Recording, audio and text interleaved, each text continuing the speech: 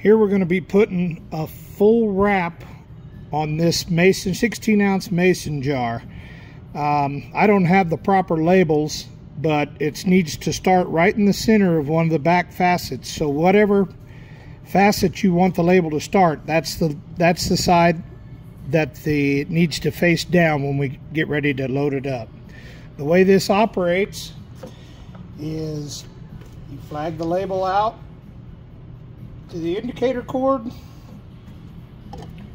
put the jar in, the side you want it to start on down, rotate the thing back till it hits this stop here. That way it's in the same place every time.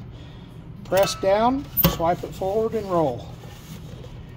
Now it's between these seams here all the way around, no bubbles, wrinkles, started right between the numbers there on the hash mark.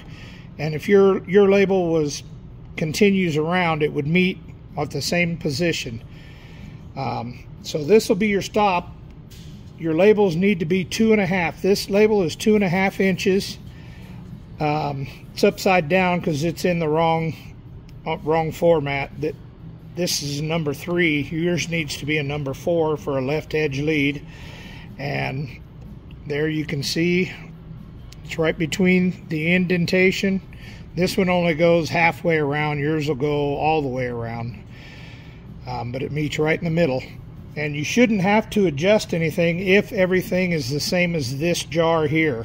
I don't know that it is, but from when I talked to you, it sounded like it was. There's where it started.